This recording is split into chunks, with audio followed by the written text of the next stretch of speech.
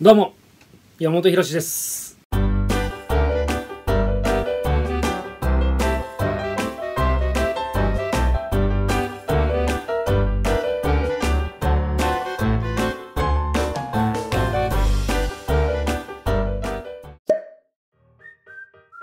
いや覚えてますよ。まあ奥さんの報告からね聞きましていやもう「来た来たマジで来た!」って言ってね。とりあえず落ち着こう。落ち着こうって言ったけど俺が全然落ち着いてないから。奥さんのが全然冷静でしたね。もう飛び上がるほど嬉しかったですね。うん。まあやったことっていうか毎年春にですね写真館で写真を1枚家族写真を撮ってるんですね。僕と奥さんそして2匹の犬と結婚してから毎年1年目2年目ってね写真撮ってたんですけど3年目の時ですね。お腹がこうふっくらしていい写真が毎年撮ってるからこう分かってくるっていうことでちょうど妊娠中でお腹がでかい時でこうとても記念になりますね。うん。今年の2月豆まきをねした時にちょっと鬼のねお面がねちょっとね鬼が怖かったんですよ。この鬼のお面が。でそれでいざね、まあ、鬼のお面かぶって部屋からうわーって出てきたんですよ。したらもううわーって泣いちゃってものすごいうわって泣いちゃったんですけど奥さんがね「あよ豆豆まいて退治するんだよ」って言って豆をぶつけるんだよって言った時に息子が泣きながら「うわで鬼は外福は内」って言うんだよ「鬼は外って。まだねそんな言葉もねまともに喋れるギリギリのラインなのに一生懸命それ言いながら鬼に向かって投げてきたんですよ。その時に涙流しながらもこう向かってきた姿でなんかねもう今ももちろんなんかうるっとしてるんですけどお面の中で俺泣いちゃいましてあの時のね息子の顔が忘れられなくてね今もはいちょっとごめんなさい。はい勇敢な部分持ってくれてたんだっていうのがものすごい嬉しくてもう親バカなんだろうな思いました。うちはもう今恐竜ブーム到来しちゃってましてもう朝起きたらパパ恐竜恐竜ってリモコン渡されるわけですよ。もうとにかく恐竜のビデオ映画見せろと。同じ恐竜の映画を1日3回とか4回とか見てますよ。だから恐竜のおもちゃを買ってあげました。恐竜のおもちゃ買ってね1日目恐竜ずっと遊んでるんですね。よくこの恐竜遊んでる展開見たら恐竜映画の展開をやってるのよ。そこまでその恐竜映画好きなのもうね10個以上あるんですよ恐竜が。それを恐竜探ししようねっつって僕が部屋のもう至る所にその恐竜を隠して回るんですよ。じゃあ恐竜探しスタートっつったらもう一生懸命探すんですよ。その間夫婦の平穏な時間自分たちの見たいものを見る。この時間が訪れるのでぜひね宝探しゲーム。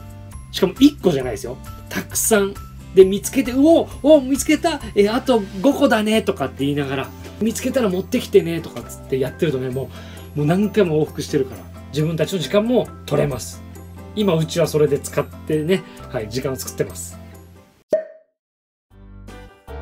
僕がねこうコントの中でねリアクションで「何?」っていうリアクションをしたりするんですよでこの「何?」をめちゃくちゃ言い始めてるんですよ今僕がやってるところを来て「何?」って言いに来たりとかなんか見たことないキャラクターを見つけたら指さして「何?」とかもう「何?」をね言いたくてしょうがない今時期に入ってて笑っちゃいますね本当に「何?」分担とかは特に決めてなくて気づいた方がやるっていう感じではありますね。全部が全部できるわけじゃないので自分的な心の持ちようとしてはパワーを使う疲れる子供を相手にするとかねそのスタミナ勝負のものはなるべく自分がやろうと思ってやってるつもりですけども急に我に返ったようにママママみたいな。絶対的にママがねいいんですよ。息子的にもね。で抱っこするにもおんぶするにもママママやだパパやだまあまあ僕がやりたくても息子にこう拒否られるっていうこともありますけど悩んでるってことは自分のキャパの中からこぼれてしまってるということだと思うので僕が助けなきゃいけないんだろうなとは思ってますよね。ずっとだって奥さんがやってくれてるわけじゃないですか。でそこで悩んでるってことは一人のママだけでは手に負えない瞬間が来てるから悩んでるんだってその時はだから自分の体力を使って解決させたいという感じですかね。そんななんか器用な頭聞かせてあこれだとこうやってやった方がいいよこれだとこうやってやった方がいいって指示なんかできないですから僕はとにかく息子と遊んで疲れさせるって、うん、大体ね疲れきってないからねママがめちゃくちゃ大変になるんですよね。それがうちは多い感じしますね。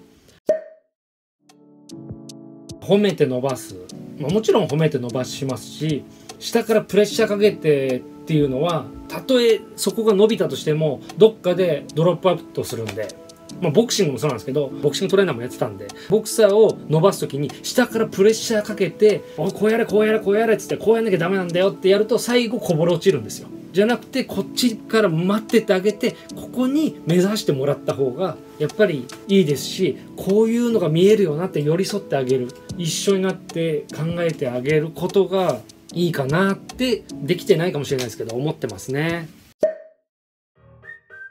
同じマンションに住んでる小杉さんに会ったんですね。はい。ブラマヨの小杉さんと同じマンションに住んでまして、お子さんをね、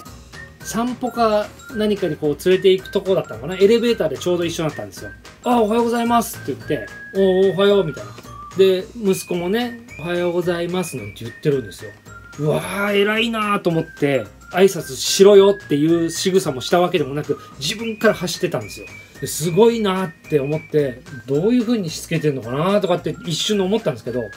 そのすぐ下の階の別のねフロアの住民さんが乗ってきたんですね。でその時に僕はあのちょっとコソコソしてたとこあったんですね。あのお笑いやってるやつだってなんかなるとちょっと恥ずかしいなっていうのがあって。だけど小杉さんはその住民さんが入ってきた瞬間に「おはようございます」って言ったんですよ。その住民さんに。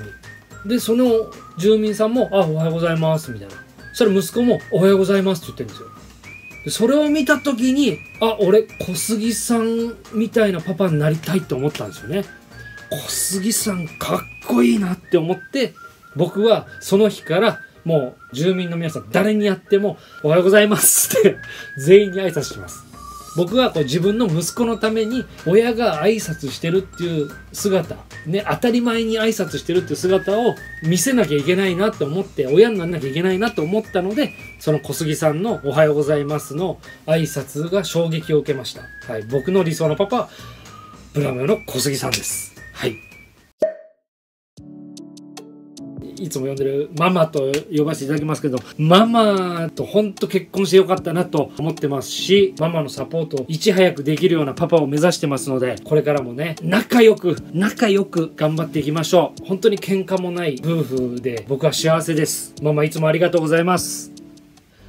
この質問厳しいですね。えー、そうですね。まあ、50点